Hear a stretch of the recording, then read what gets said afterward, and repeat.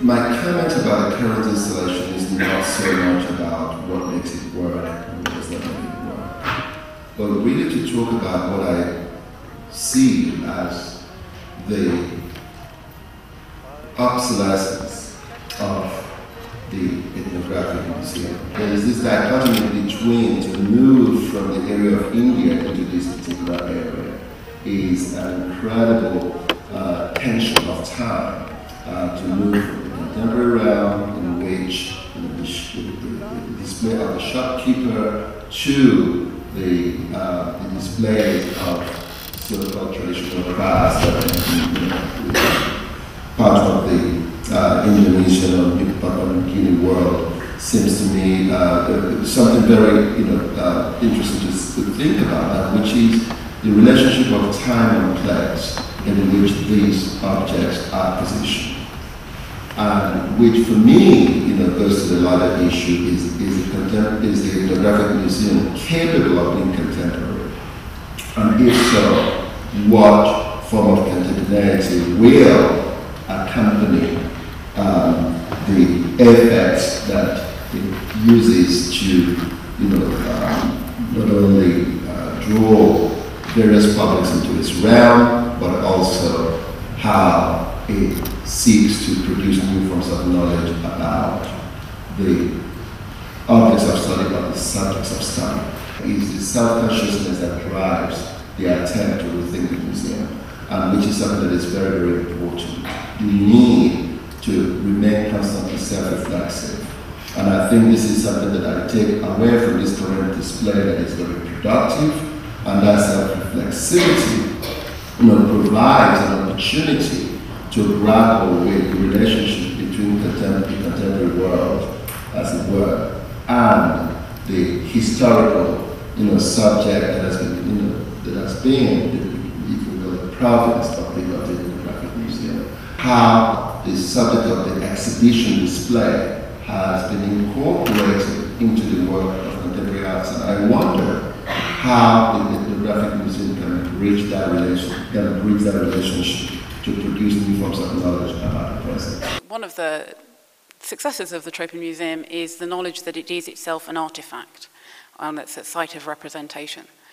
Um, and I think if you go through the galleries, you have the sense of an evolving series of techniques, which as a museum curator I find quite interesting. Particularly, I would say, the use of audio-visual um, techniques. Uh, the fact that in certain of the galleries in Africa, for instance, the audio-visual material is put inside a case. It becomes an object itself. Uh, in other galleries, it's the way of situating the visitor um, in, or contextualizing the visitor. What I like about the Tropen Museum is, in a sense, their courage to experiment with a whole series of mise en scène, uh, the ways in which you embed a visitor in a cultural context. Some are successful, some are less successful. I think the ones that are successful um, are the ones that are more about, uh, I suppose, Dutch sense of their own history. We are all working with a canon, and we a lot of us work with the collections that we have, and it would seem to me always a disappointment to ignore the historical collections that we have in favor of the contemporary, which sometimes says the things that, are, that we want to say, as opposed to the objects that we have that often don't. What the Tropen Museum, of course, is, is it's made history in, in a very real way, um, and it understands that the making of history is something that it continues to do. That, in a sense, as an artifact, it's not only about representation, but it's about cultural production. I'm very pleased that the old notion that societies which were dubbed as ethnic groups, whose sole cultural merit was that they were frozen in the past and that their tradition based authenticity was the main feature to qualify them to become collectibles in the Western Museum, has been largely broken at the Tropen Museum. This is done mainly by inclusion of the contemporary and uh, the popular which was considered unauthentic and contaminated by civilization until recently in, uh, in the museum parlance. This is the prime uh, marker of change. This new approach, in principle, does make the museum post colonial, forward looking, and reflector of change that is occurring in non Western societies.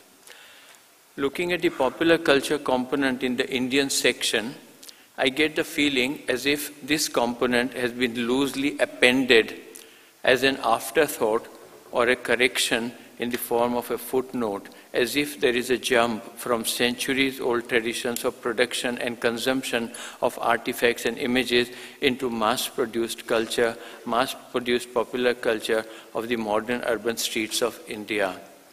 The second point that I wish to comment upon pertains to the notion of contemporary. If the ethnographic museums concern themselves with all aspects of culture of the society they represent, can they leave out uh, the art of that society to be taken care of by the art museum? Can we separate art museum from artifact? Even if one has to agree for a while that contemporary global art is a world by itself, its galleries and museums, its markets and publicity, its antecedents and critical principles, and therefore could be dealt with as a separate category by the art museums, the question still remains as to what happened to the art of the ethnic groups after the decline of their tradition-based production of artifacts. It's a challenging thought how the museum would look like. The, I mean, of course, the, the collection would look like if you would build it around themes instead of, um, instead of regions, where you then have more intercultural comparison as your leading uh, rationale. There's a danger, I suppose. Uh, when I worked at the British Museum, we used to work with someone who said that one of the problems is that you end up with multicultural soup. Namely, that you end up with something that operates at such a level of generality that it's all about the family of man.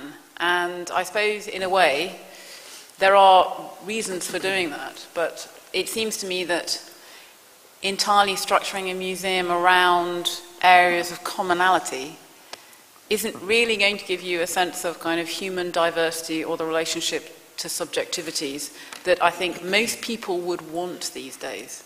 That your audience is probably much more interested in. The question is, uh, what can the ethnographic museum learn from all these other disciplines? That I think that ethnography has to be, in my view, necessarily interdisciplinary in terms of the ways in which it uses the objects, in terms of the kind of narratives and the stories it tells with the object. I would rather sort of, you know, work on more micro, you know, microcosmic, smaller, you know, uh, exhibitions rather than say this is India.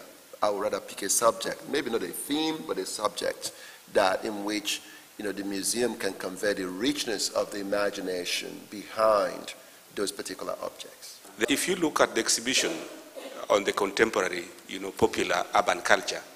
Uh, and then you look at the ceremonies from the beginning. Uh, those are two different worlds without any much connection. And here it is representing Africa. So what we see basically, I think there, I think there's need to connect. Uh, there's too much of, you know, the exotic, the ceremonial, uh, the ritual, and then the chaos. I wonder if there's not one big area lacking and which is European cultures. This whole issue between what you collect, you know, do you collect the vernacular, do you collect the high art, do you collect the popular culture, do you collect the visual culture, and so one gets terribly confused when it comes to one's own culture in a way that one isn't so because of the, the lack of distance. The notion of connections and how these things are deeply linked and linked, in a sense, through the vehicle of one place. The important thing is how it's connected. And I think that is actually a much more interesting ethnographic trope. The movement of culture and material and people, I think, is actually something that speaks quite fully to a contemporary audience. I don't want to, uh, to be nasty, but you have to start all over again because a new era is, is, already, uh, is already starting. And I don't mean that what, it, what is there um, is, uh, is, isn't very, very successful, but in the dynamics of time, we need to rethink whatever we are doing all the time. I think it's time to uh, have a drink and toast on the accomplishment of uh, the museum. Thank you very much.